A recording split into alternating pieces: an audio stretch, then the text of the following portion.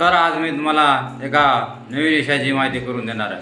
मी मागील व्हिडिओमध्ये multiport fuel injection system या घट म्हणजे या घटकाची माहिती दिली होती. तर त्या त्यामधील इशियम हा एक घटक आहे. या इशियम घटकाबद्दल तुम्हाला आज मी थोडक्यात माहिती देणार आहे. तर इंजिन कंट्रोल म्हणजे इशियमलाच काय म्हणतात? इंजिन कंट्रोल मॉड्यूल असे म्हटले जाते. तर इंजिन कंट्रोल मॉड्यूल हा ब्लॅक बॉक्ससारखा दिसणारा इलेक्ट्रॉनिक घटक आहे. तो घटक आहे तो काय इन्स्ट्रुमेंट पॅनल बॉक्समध्ये तो काय केला जातो?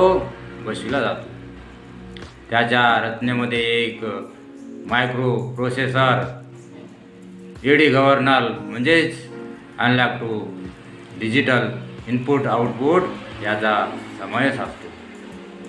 इशियमला इग्निशन स्विचकडून बॅटरी म्हणजेच इग्निशन स्विचकडून बॅटरीचा विद्युत पुरवठा केला जातो.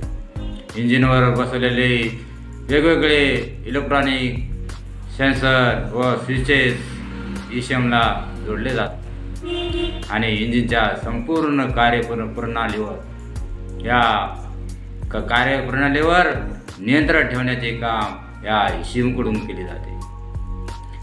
बघा सर्व कार कार्य काय इशियमकडून केले जाते. म्हणजे सेन्सर असे सीचे सर्व आपल्या इंजिनवर सर्व कार्य केले जातात या इशियमद्वारे नियंत्रण ठेवण्याचे काम या इशियमकडून केले जाते.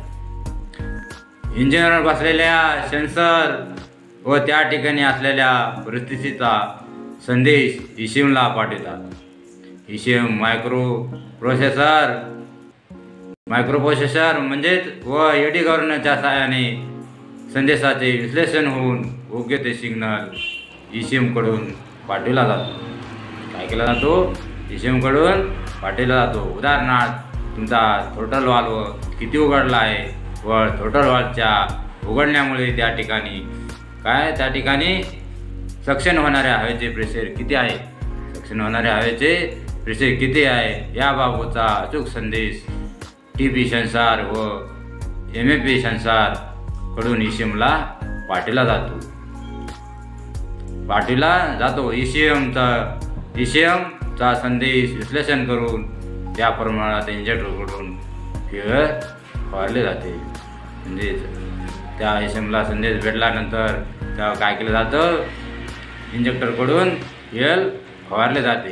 दुसरे करून त्या प्रमाणात इंजे इंजेक्टरकडून इंजेक्टरकडून फ्युएल फवारले जाते. वरीलप्रमाणे म्हणजेच ईशमकडून cooling system fuel system A C ignition system इग्नि ignition timing काही नियंत्रण ठेवले जाते.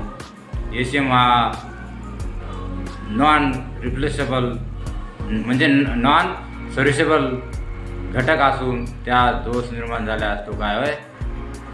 इशियम बदलावा लागतो. म्हणजे हा इशियममध्ये काही दोष निर्माण झाल्यास तो आपल्याला काय करावा लागतो? नवीनच टाकून घ्यावा लागतो. अशा प्रकारे मी तुम्हाला इशियम या घटकाविषयी थोडक्यात माहिती दिली आहे. धन्यवाद.